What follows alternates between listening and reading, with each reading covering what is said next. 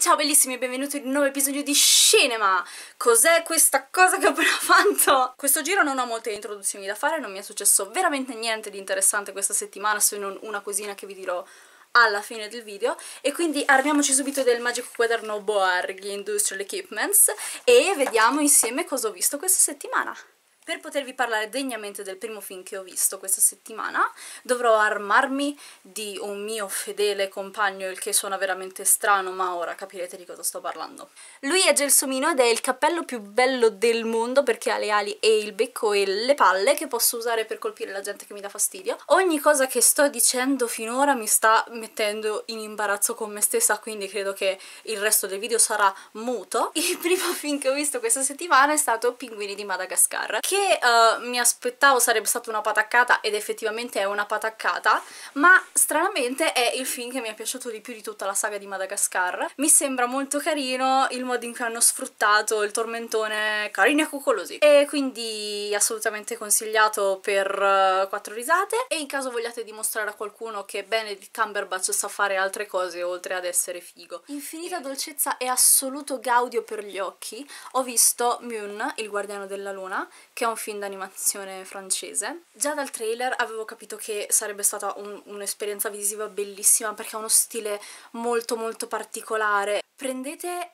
le creature della principessa Mononoke dello studio Ghibli e mescolateli allo stile di quei giochi indie particolari, non quelli in 8-bit naturalmente, e avrete Moon che è ah, già solo bellissimo da vedere, ma anche la storia è veramente molto molto bella. Addio Gelsomino! Ed è così che mi pettino tutte le mattine.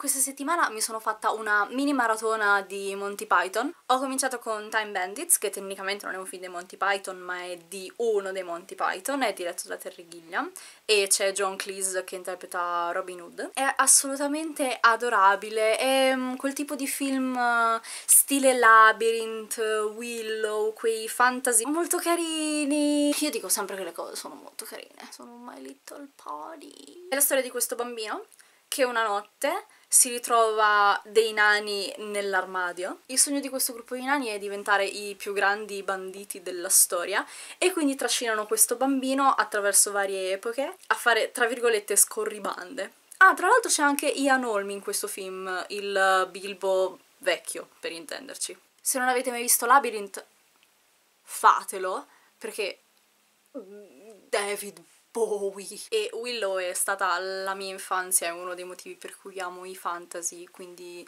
non posso che consigliare pure Willow. Dopo Time Bandits ho visto Life of Brian, che in italiano si chiama um, Brian di Nazareth, che è una specie di mm, parodia della Bibbia, della Bibbia, oh, vabbè, del Vangelo. È la storia di questo Brian, che è il vicino sfigato di Gesù, Ciao, ho detto tutto, fa un sacco ridere. Credo che l'inizio di mm, Life of Brian in cui i re magi vanno in cerca di Gesù e sbagliano casa e quindi vanno a casa di Brian sia una delle cose più divertenti che io abbia mai visto nella mia vita. In generale non riuscivo a smettere di ridere durante questo film, quindi assolutamente consigliato. Stavo per dire questa settimana ho visto solo film belli, poi mi è caduto l'occhio su cosa ho visto venerdì. No, ok, non continuerò a dirvi per tutto il video, consigliatissimo, consigliatissimo, ho visto anche cose brutte, non vi preoccupate. Sempre durante la maratona di Monty Python ho visto The Meaning of Life, uh, che in italiano si chiama Monty Python il significato della vita, che è um, stupendo.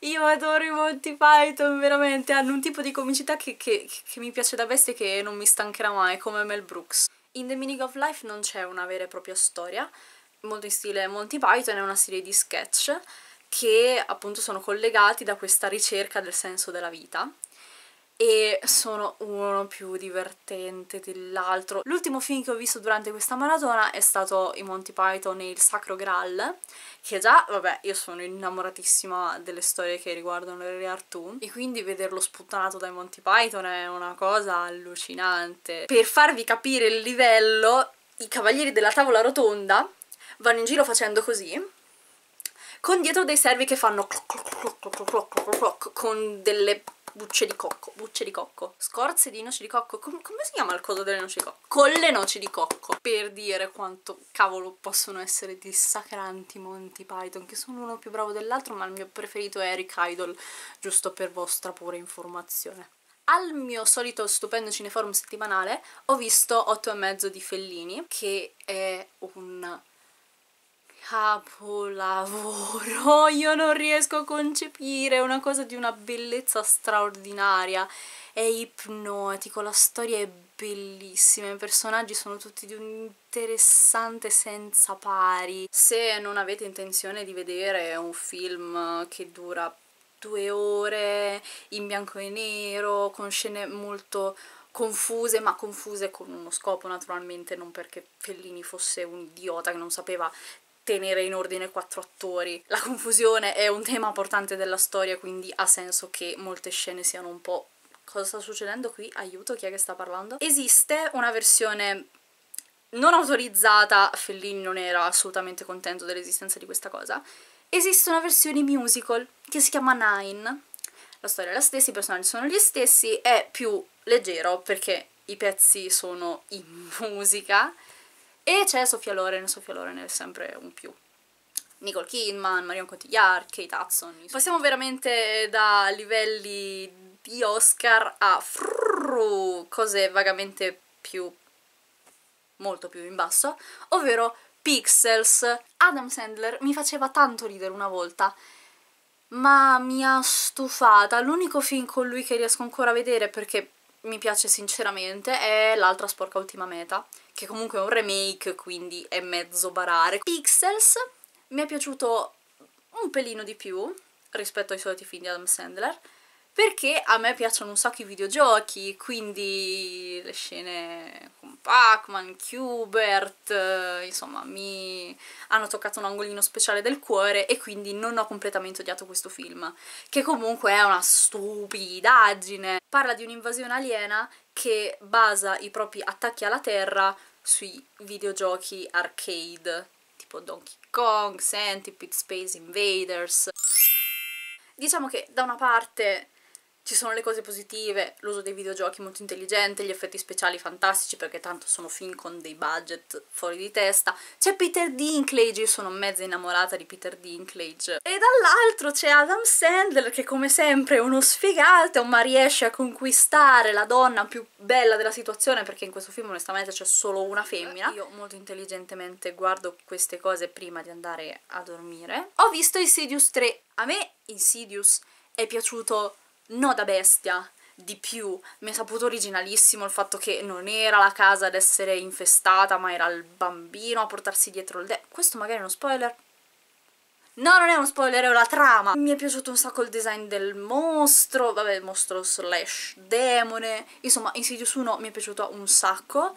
Mi ha fatto venire il terrore di Tiptoe Through the Tulips. E quindi Insidious 1 consigliatissimo. Insidious 2, essendo che Insidious 1 finisce piuttosto male e oh mio dio co cosa può succedere subito dopo, Insidious 2 ci mezzo sta, ma già non mi era piaciuto granché. Insidious 3 è il prequel, è la storia di Elise, che è diciamo la medium e della sua squadra, e secondo me non, non ci sta.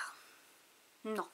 Naturalmente mi ha fatto paura perché ci sono i jumpscare, wow! Ma per il resto proprio non mi ha fatto né caldo né freddo. Sì, poi naturalmente quando cammino al buio cerco di stare rasente al muro perché mai offrire le spalle al nemico. Cosa ci ha insegnato Outlast se non questo? Sabato mi sono rivista per la non so più quantesima volta L'ultimo dominatore dell'aria, tratto dal cartone animato Avatar. So perfettamente che ci sono un sacco di errori di adattamento, cose che io aborro, però piace. Non è quel tipo di film che difenderei a spada tratta durante una discussione, però non è nemmeno un film che vorrei buttare nelle fiamme dell'inferno come farebbe qualcuno e mi è dispiaciuto un sacco che non abbiano dato i fondi a Night Shyamalan per fare i seguiti. Quindi in particolare se l'avete visto ci tengo a sapere la vostra opinione perché le poche persone con cui ne ho potuto parlare erano piuttosto d'accordo con me Visto che sento di non avervi ancora parlato abbastanza questa settimana, vorrei raccontare quali libri ho letto adesso che sono libera dagli esami. Mi sono letta la trilogia del regno di Gahol, mi è piaciuto tantissimo, in particolare il primo, La caduta, forse perché ero in overdose da trattati tecnici, ma avere come protagonista questo piccolo uccellino in difficoltà mi, mi ha emozionato ogni volta che, che gli succedeva qualcosa. La prima cosa che gli succede è che casca dal nido e viene rapito.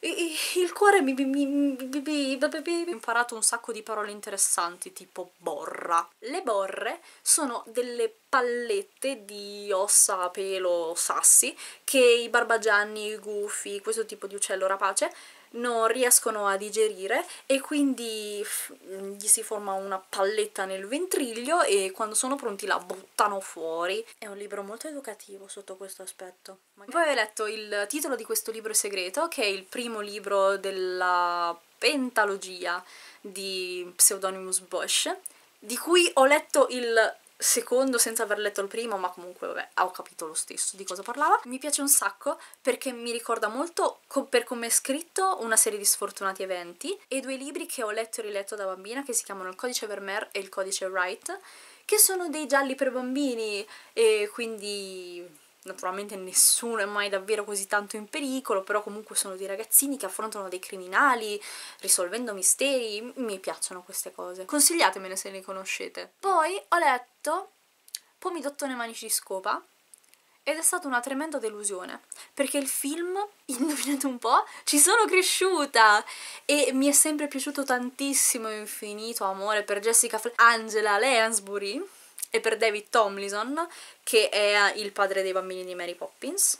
Io adoro proprio il dottore Manici di Scopa, mi è sempre saputa un sacco intelligente l'integrazione della storia fantasy con eh, effettivamente la storia della guerra mondiale e indovinate un po', questa cosa nel libro non c'è tutto quello che mi piace del film nel libro non c'è. Emelius c'è ma non è lo stesso Emelius, è un negromante del 600 che viene quasi messo a rogo, oh mio dio. E invece nel film è una simpatica canaglia, è adorabile. Il pezzo della partita a calcio con gli animali sull'isola di Nabumbo nel libro non c'è.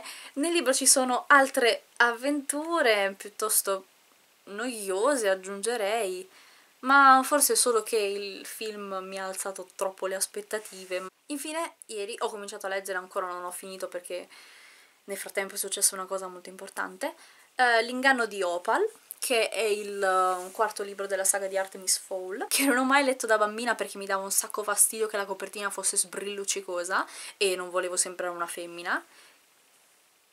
Li sto leggendo adesso e mi piacciono assolutamente un sacco. Di Owen Colfer non ho idea di come si pronuncia il suo nome. Avevo letto La lista dei desideri, che è quello già per un pubblico vagamente più grande di quello a cui è diretto Artemis Fowl. Quel tizio è brillante, ha un senso dell'umorismo pazzesco e Artemis Fowl è fantastico perché mescola il fantasy puro al thriller tecnologico e quindi è originalissimo, mi piace un sacco e ve lo consiglio anche se avete 40 anni, non credo che i quarantenni guardino i miei video, però avete capito.